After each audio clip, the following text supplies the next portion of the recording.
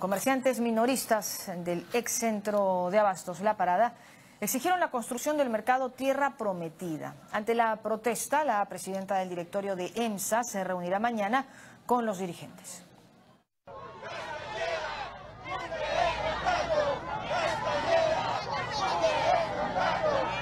Y así cientos de comerciantes minoristas que trabajaban en el antiguo mercado de La Parada exigen a la empresa municipal de mercados EMSA la construcción del centro de abastos La Tierra Prometida, que fue anunciado durante la gestión de la exalcaldesa de Lima, Susana Villarán.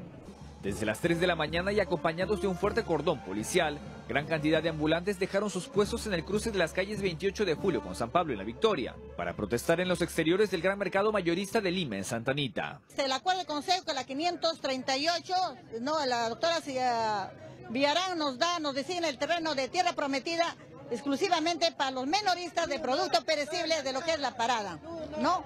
Y en la cual su gestión termina a punto de entregarnos la llave. De ahí pasó un año, nueve meses, en la cual no se pronuncia nuestro alcalde, mucho menos EMSA.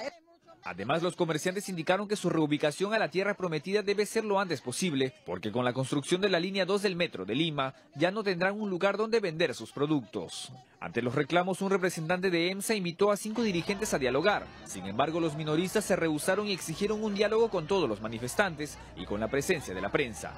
No se puede negociar. ¿Cómo que negociar? Cinco dirigentes. Señor, nosotros tenemos... Los estoy invitando. Los estoy invitando.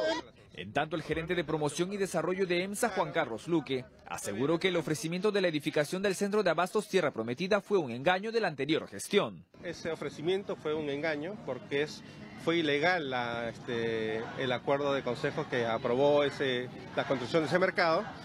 Este, nosotros cuando llegamos en el año 2015 vimos que había un contrato de arrendamiento entregado sin subasta pública y donde EMSA entrega un terreno que era de la municipalidad. O EMSA no tenía facultades para poder entregar ese terreno a los comerciantes. Recordó que se modificó el acuerdo de consejo para que los comerciantes formen parte de una iniciativa privada para la construcción del mercado minorista. En ese sentido explicó que la demora en la ejecución de la obra se debe a los trámites de aprobación a cargo de las comisiones. También anunció que se acordó una reunión entre la presidenta del directorio de EMSA, Edith Matías, y los dirigentes para este jueves 15 a las 11 de la mañana.